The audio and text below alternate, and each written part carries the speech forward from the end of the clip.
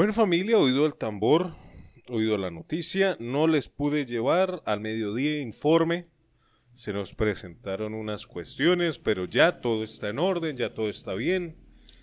Gracias por los que preguntaron, pero lo que traía para el mediodía se los traigo a esta hora. Así que, y gracias por los que no preguntaron, porque sé que se preguntan también, obviamente. Pero seguimos con lo que teníamos que hablar, porque es que no solo es el sector de los docentes, estamos hablando del sector de salud, de las enfermeras, de los enfermeros, de los médicos, estamos hablando de los diferentes sectores de eh, públicos que existen en el país cansados de lo mismo, están cansados y no dejan de salir ni van a dejar de salir. ¿Por qué? Quiero informarles, médicos y docentes no abandonan las calles venezolanas.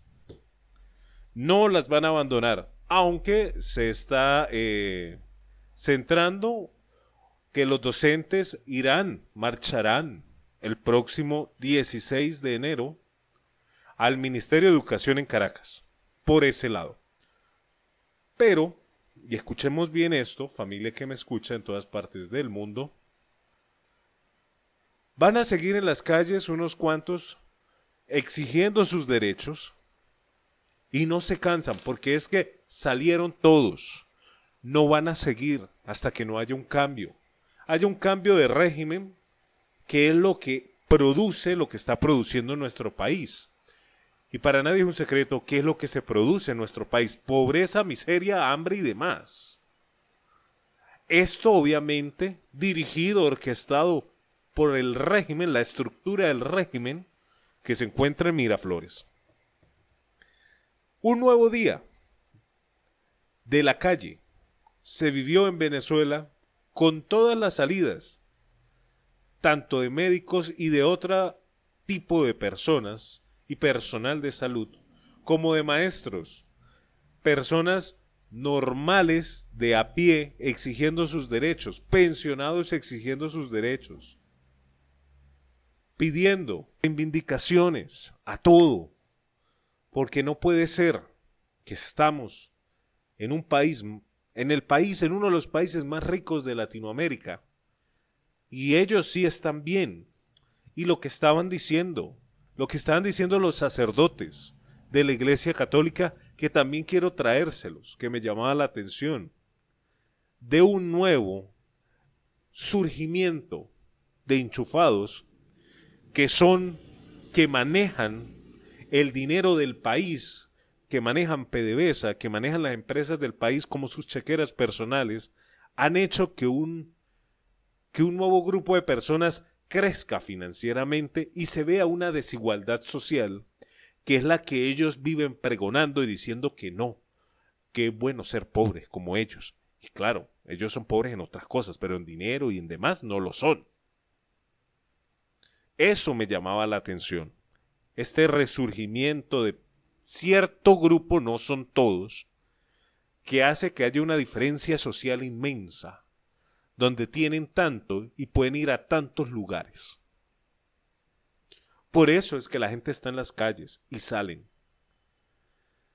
El sector salud, el sector de los maestros pidiendo salarios dignos al régimen del dicta.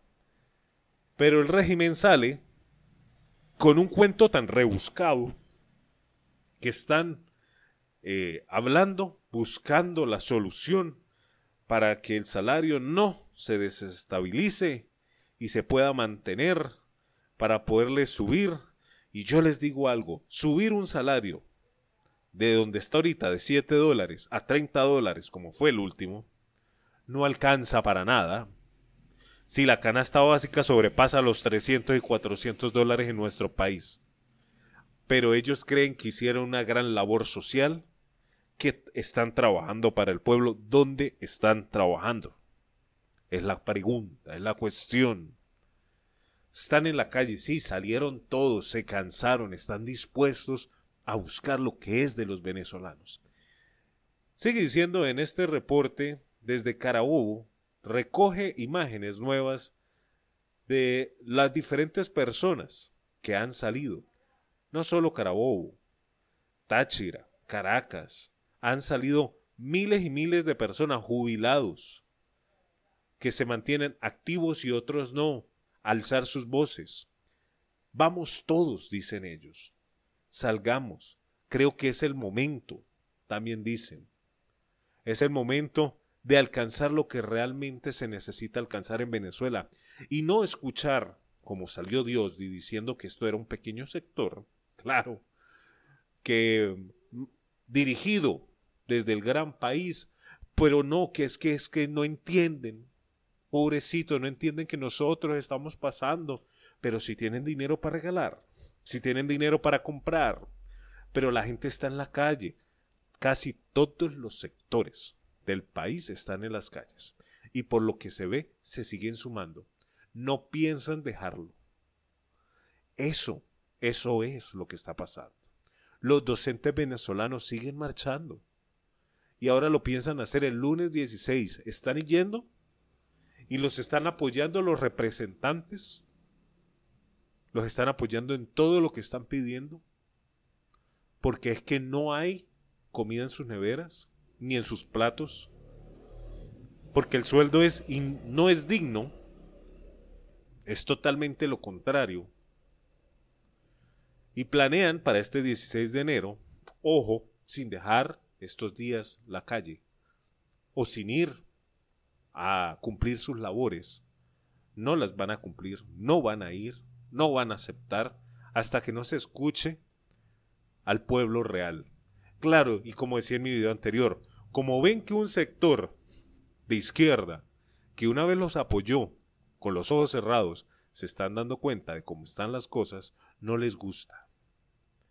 No les gusta y ahí sí como, como ellos son perfectos y hacen todos bien.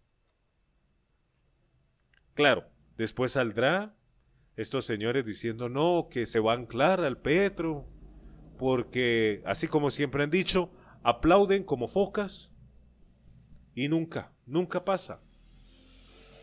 Porque salió incluso un informe diciendo, si estuviese anclado al petro, hoy el salario, que una vez fue de 30 dólares, seguiría en 30 dólares, subiría a 550 bolívares como a 46. Obviamente para el sector de los pensionados, eso sigue en aumento. Pero qué práctico, ¿no?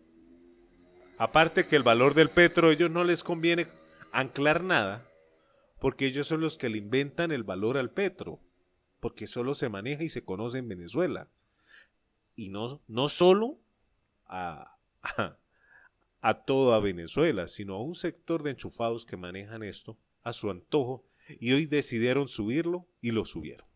Esto es noticia, esto es información y esto lo tenías que saber a estas horas del día. Gracias por compartir, multiplicar y extender ser parte de esta hermosa familia. Si no te has suscrito, te invito a que te suscribas y si llegaste a este punto es porque quieres oír la frase del momento, la frase del día, que es la siguiente. Todos tenemos que guardar con llave. Sí, todos tenemos que guardar con llave nuestras metas o lo que deseamos o lo que vamos a hacer.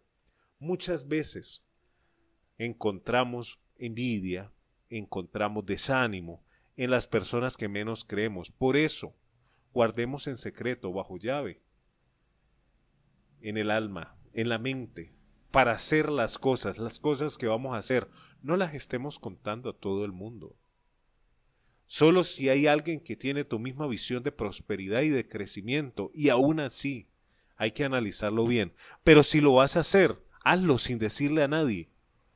Lógralo. Y cuando lo logres, lo cuentas. Logré esto. Esta era mi meta para este año. Por eso te lo digo a estas horas del día. Hoy, iniciando el año también, que estamos todavía iniciando el año. Si vamos a empezar a hacer algo, guardémoslo nosotros, hagámoslo con nuestras parejas, pero que nadie más sepa y alcanzaremos lo que deseamos. Gracias por compartir, multiplicar y extender.